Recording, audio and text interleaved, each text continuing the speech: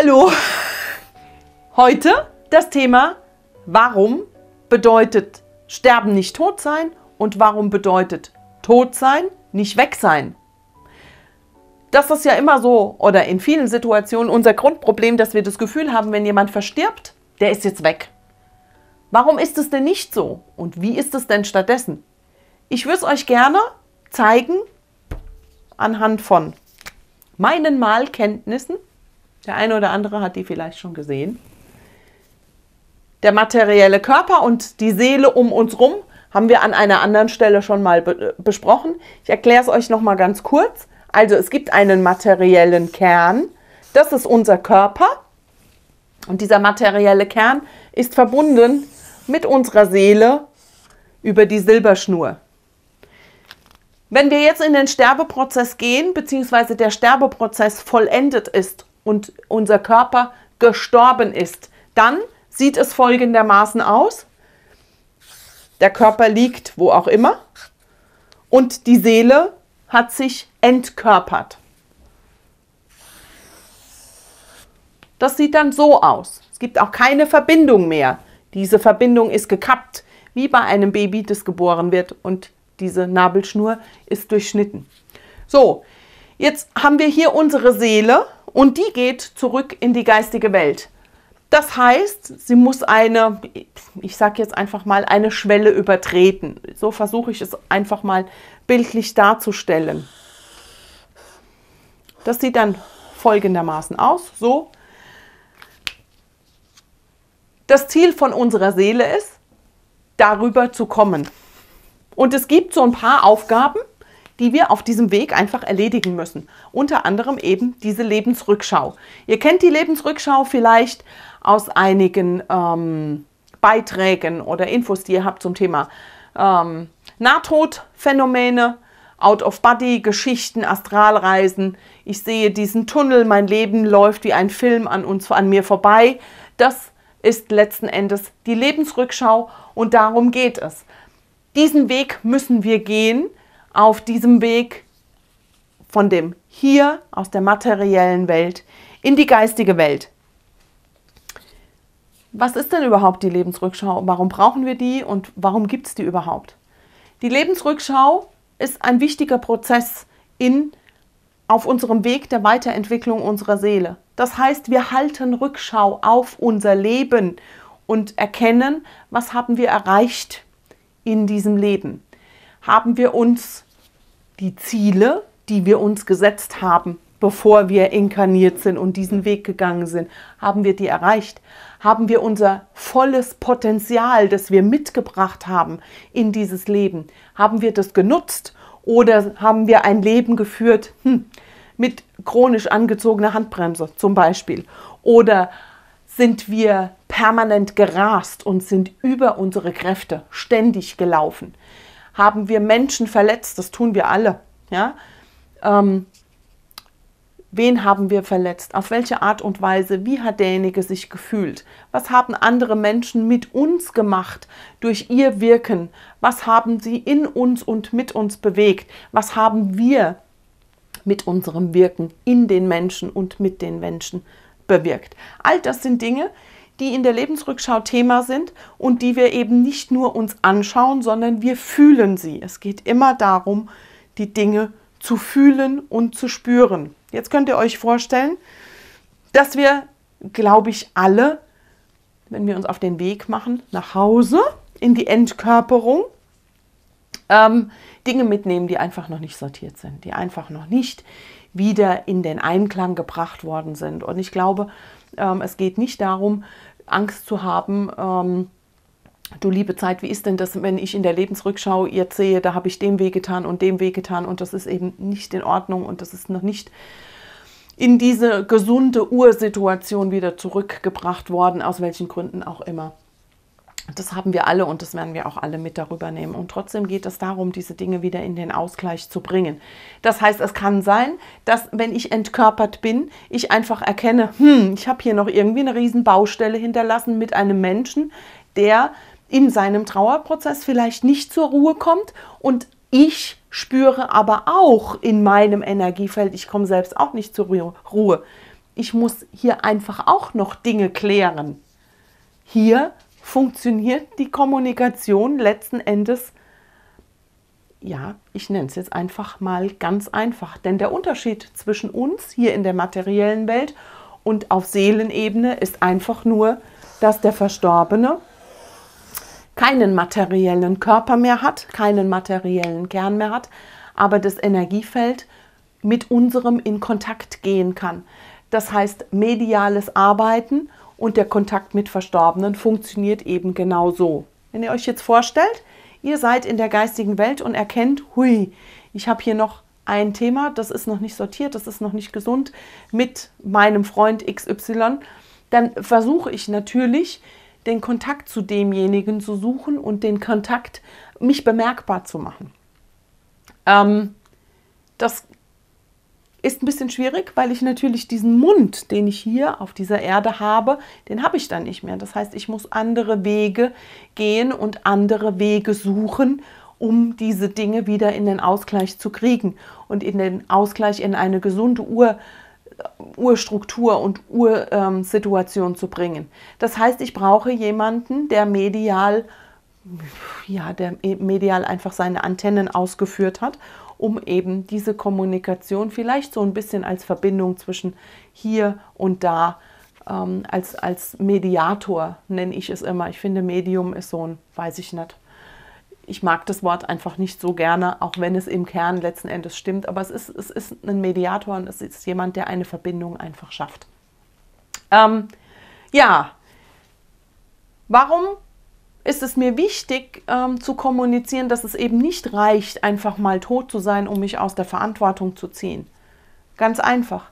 Wenn ich entkörpert bin und auf der Seelenebene vielleicht wahrnehme oder auf der Seelenebene wahrnehme, was habe ich für ein Trümmerfeld, nenne ich es jetzt einfach mal, vielleicht hinterlassen, weil viele Dinge nicht geklärt sind, weil viele Dinge nicht ausgesprochen sind, weil ich vielleicht für mich ähm, ja, Dinge nicht ausgesprochen habe, weil mir gar nicht klar war, wie viele, wie geliebt ich hier bin in diesem Leben, weil ich mich Zeit meines Lebens vielleicht ungeliebt gefühlt habe, nicht gesehen, nicht wahrgenommen, dann kann es durchaus sein, dass es hier für mich auf der Seelenebene in der Entkörperung, ich nenne es jetzt mal ein böses und ein krasses Erwachen gibt, weil ich einfach sehe, hm, Jetzt habe ich gedacht, ich bin weg aus diesem Leben und damit bin ich alles los und ich erkenne aber, das ist es überhaupt nicht. Ja? Sondern ich nehme immer wahr, was habe ich hinterlassen? Wie geht es meinen Angehörigen? Wie fühlen die sich? Was führen die jetzt ein, ja, welches Leben fühl, führen sie? Ähm, weil vielleicht überhaupt gar nicht klar ist für meine Angehörigen, warum bin ich denn überhaupt gegangen? Weil Zweifel da sind, weil unausgesprochene Dinge da sind. Ähm, manchmal geht es auch darum, so ganz profane Dinge wie ähm, Versicherungsgeschichten einfach nicht geregelt zu haben und, und, und, und, und. Das heißt, ich bin hier auf der geistigen Ebene und nehme all diese Dinge wahr. Und es ist natürlich schwierig für mich in Aktion zu treten und in Kontakt zu treten mit denen, die hier bleiben. Und ich spüre aber die Not. Also ist es letzten Endes immer noch meine Verantwortung, die ich übernehmen sollte. Also es hört nicht auf. Weil tot sein bedeutet eben nicht, und das ist was, was mir unglaublich wichtig, tot sein bedeutet nicht, ich bin nicht mehr in der Verantwortung mir selbst gegenüber und meinem Umfeld gegenüber, sondern es ist oft dann das Bestreben natürlich dieser Seelen, sich bemerkbar zu machen und zu schauen, was gibt es denn für Situationen, für Möglichkeiten über die geistige Ebene vielleicht hier noch Hilfestellungen ähm, zu schaffen. Und wir im Hier und Jetzt nehmen das dann oft wahr als irgendwelche komischen Situationen, Menschen, die urplötzlich auftauchen, um ein Problem mit uns vielleicht gemeinsam zu erarbeiten und ähm, aus der Welt zu schaffen ohne dass wir denjenigen vielleicht gerufen haben, sondern das sind dann so diese Wunder von Menschen, die einfach so auftauchen. Wenn ich dann also in der geistigen Welt bin und es mein Bestreben natürlich ist, dass es meinen Angehörigen hier gut geht, dann werde ich alles Mögliche versuchen oder unter Umständen alles Mögliche versuchen, ähm, mich da eben mit einzubringen, damit es wieder in einen, einen gesunden Fluss ähm, gehen kann. Das bedeutet in der Konsequenz, dass relativ schnell klar ist, nur weil ich entkörpert bin, bin ich eben nicht weg und nur weil ich entkörpert bin, habe ich nicht meine Verantwortung abgegeben, sondern es geht weiter, weil es ja darum geht, dass unsere Seele sich weiterentwickelt. Deshalb sind wir hier. Das hat was mit Bewusstseinsarbeit zu tun. Zu verstehen, dass natürlich, wenn ich hier anfange zu stagnieren, dann stagniert es hier eben oft auch. Wenn ihr euch vorstellt, ähm, ich bleibe jetzt mal oder ich nehme jetzt einfach mal ein Beispiel. Es hat sich vielleicht ein, ein das Kind suizidiert, umgebracht, aus welchen Gründen auch immer. Ähm, und dann stellt sich natürlich ganz, ganz oft die Schuldfrage. Das ist natürlich was, ähm, womit wir immer so ja, uns dann rumschlagen. Wer hat denn Schuld? Habe ich vielleicht als Eltern Schuld, weil ich keinen guten Job gemacht habe, weil ich nicht achtsam war, weil ich was auch immer. Wir sind da ja unglaublich erfinderisch in unseren Gründen, ähm, warum wir auch schuld sein könnten. Wenn sich diese Frage stellt, dann sind wir in der Stagnation. Wenn die Seele auf der anderen Seite dies fühlt,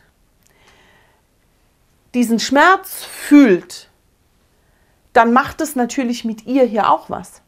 Das heißt, wenn ich in diesem Gefühl der Schuld bin, dann wird es schwierig, die Dinge wieder in den Fluss zu bekommen. Das ist hier drüben auch nicht gut auszuhalten. Dessen könnt ihr euch gewiss sein. Das heißt, grundsätzlich geht es sowieso niemals im ganzen Leben um Schuld. Das mal völlig unabhängig von dieser Situation, von die ich gerade als Beispiel genannt habe, sondern es geht für mich immer ähm, darum zu erkennen, okay, was ist denn mein Part der Verantwortung, dass eine Situation eingetreten ist, wie sie eingetreten ist. Und Verantwortung hat jeder nicht nur ich und ich habe auch nicht Verantwortung für die ganze Welt, sondern ich habe Verantwortung für mich, mein Tun, mein Denken, mein Handeln und das potenziert sich natürlich und überträgt sich auch auf mein Gegenüber, das vielleicht damit in Resonanz geht oder eben auch nicht. Ja? Und ich übernehme die Verantwortung der Entscheidungen, die ich getroffen habe in meinem Leben. Ich übernehme aber auch die Verantwortung für die Entscheidungen in meinem Leben, die ich nicht getroffen habe. Das heißt, es ist meine Verantwortung, treffe ich eine Entscheidung oder treffe ich sie nicht. Das bedeutet natürlich auch, ich muss aus meiner eigenen Komfortzone raus. Ich muss mich bewegen, ja, um Verantwortung zu übernehmen. Und Schuld hat nichts mit Verantwortung zu tun, sondern das Gefühl von Schuld ist was, das lähmt uns, das hemmt uns weiterzugehen, weiter den Weg in unserem Leben zu gehen. Und wenn ich dann auf der anderen Seite stehe und das eben fühle, was ich da hinterlasse, dann wird es eben schwierig. Und dann braucht es manchmal auch wirklich die Kommunikation, die, also eine, eine, eine Übersetzerin aus dem Außen, die im Prinzip, ähm, wenn es dann so ist, die Brücke schlägt zwischen diesen beiden. Ähm, damit das, was einfach unausgesprochen ist, und oft geht es wirklich um die Schuldfrage, ähm, um das zu sortieren, damit die Eltern hier auf dieser Seite weitergehen können auf ihrem Trauerweg und die Seele eben auch weitergehen kann in ihrem Prozess der Weiterentwicklung und der Bewusstseinsentwicklung. Also das heißt, es ist einfach wichtig, sich klar zu positionieren, immer wieder klar zu sagen, wie geht es mir, was fühle ich, was brauche ich und es dann eben auch umzusetzen, weil das hat was mit Eigenverantwortung zu tun. Und wenn diese ganzen Dinge sortiert sind, das geht nicht von heute auf morgen. In der geistigen Welt gibt es Raum und Zeit, gibt es nicht. Das ist was, das können wir uns hier in unserer materiellen Welt über die Ratio überhaupt gar nicht vorstellen. Aber Raum und Zeit gibt es hier nicht. Das heißt, es ist relativ. Ähm, manchmal ist es so, dass es Seelen gibt, die wieder zu Hause sind, die in einem Zeitgefühl für uns relativ schnell sortiert sind. Und wir das Gefühl haben, ja, das ist sehr klar. Und dann gibt es aber auch Verstorbene, die sind nach unserer Zeitrechnung schon sehr, sehr lange verstorben und wir haben das Gefühl, pff, da ist noch gar nicht viel in Bewegung gekommen. Ja? Ich glaube, es ist wichtig, es nicht zu bewerten, sondern nochmal zu verstehen, hier gibt es Raum und Zeit nicht. Das gibt es nur bei uns hier und deshalb treffen hier einfach auch zwei Welten aufeinander. Und dann, wenn alles sortiert ist und alles im Ausgleich ist, manchmal braucht es auch, bevor ich das vergesse, wir haben hier den freien Willen. Das heißt, wenn es von der anderen Seite klopft, weil hier jemand erkannt hat, es gibt noch was zu sortieren. Ich bin aber vielleicht zornig auf denjenigen und ich sage, nee, ich stehe jetzt mal überhaupt nicht zur Verfügung, dann wird es schwierig, weil dann ist es oft so, dass es dass derjenige hier warten muss, bis ich rüberkomme. Ja? Macht vielleicht erstmal das Gefühl von, das ist ja blöd, aber nochmal, hier wichtig, es gibt keinen Raum und Zeit in der geistigen Welt. Das ist unsere Zeitrechnung. Das ist eine ganz, ganz andere Geschichte. Aber es ist die Entscheidung meines freien Willens, will ich mit dem kommunizieren und sortieren oder eben auch nicht. Wenn ich es nicht möchte, aus welchen Gründen auch immer, naja, dann muss der halt einfach warten.